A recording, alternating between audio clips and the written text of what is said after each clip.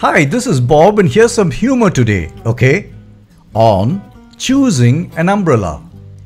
With the rains expected, I decided to go over to the umbrella store and choose a good sturdy one to beat the monsoons. I was a little surprised to see a much wider range than they had the year before. Are you a student, sir? asked the pleasant looking salesman inside the store. What difference would that make? I asked, equally pleasantly.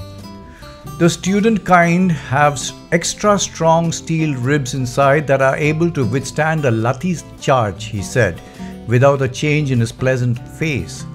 And instead of cloth, we use tarpaulin to withstand water cannons during a morcha or bandh. I hastily told him I wasn't a student and we moved into the interiors of the shop. Would Sir want a transparent one or one which will safeguard his privacy? I wonder what privacy there is to safeguard in the rains. I laughed. And the pleasant looking salesman laughed with me. I assume Sir is single. Why should you assume that? I asked a little crossly. Because if your madam walks a little close to you in the monsoon, or if Sir has forgotten to put his top shirt button, the morals police will immediately arrest you. I told the young salesman that my wife and I kept a decent, discreet distance between us, even during the rains.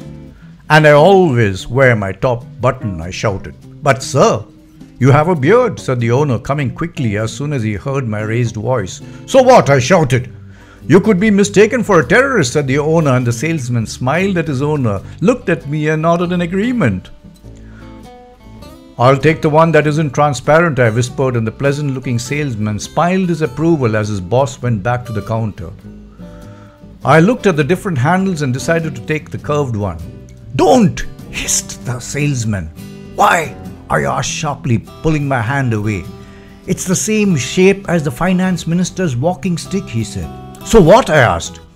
I have no such dislike for the minister to avoid choosing something that looks like his stick. But you will be mistaken for forcing a new tax on the public. The handle might give you away and the people may lynch you. I had no idea it was so difficult choosing an umbrella and walked out and into the raincoat shop next door. Do you want a thin plastic type or a canvas one, sir? asked another pleasant looking salesman. To beat the water cannons, the moral police, and the HRD minister or the finance minister? I asked, laughing hysterically.